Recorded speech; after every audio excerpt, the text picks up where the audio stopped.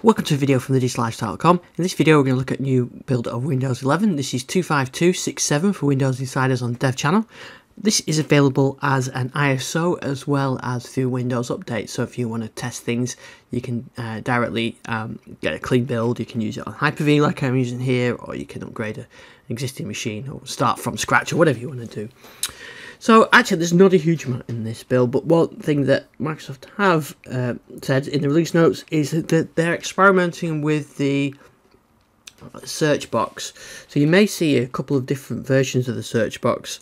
So you may have a little small magnifying glass that you see I've got this rounded one here that says search you might see a slightly bigger one that says search and it's got an image in it and that's Microsoft to just um, experimenting really with this, and uh, I'm guessing they'll fin- get the feedback and then they'll finalise on which one, um, which one they're going to go ahead with. So there you go. That's what you can see in this build, and that's the main actual visual change.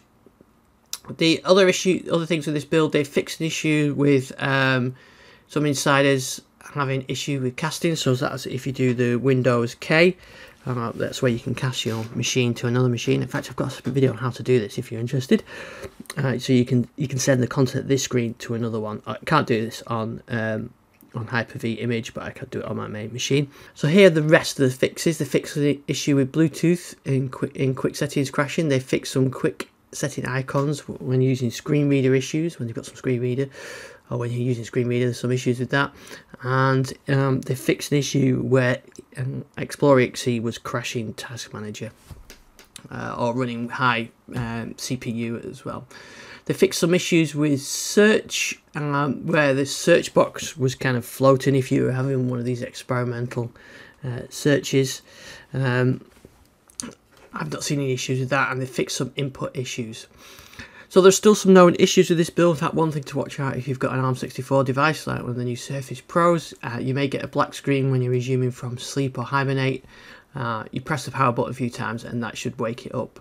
Um, and there's an issue with Windows Hello as well.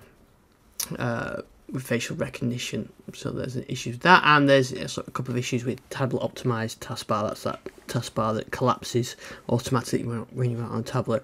I've got I've got used to that. I do really like that. Use that on my Surface uh, Go, which is getting a bit old now, but it still works quite well, and uh, that gives you a bit more screen mistake because this uh, collapses. So those are the main issues. There's some issues with live captions as well, and I think they're going to get um, in fact live captions isn't working at all. They're going to get that fixed in the um, in a build in the new year.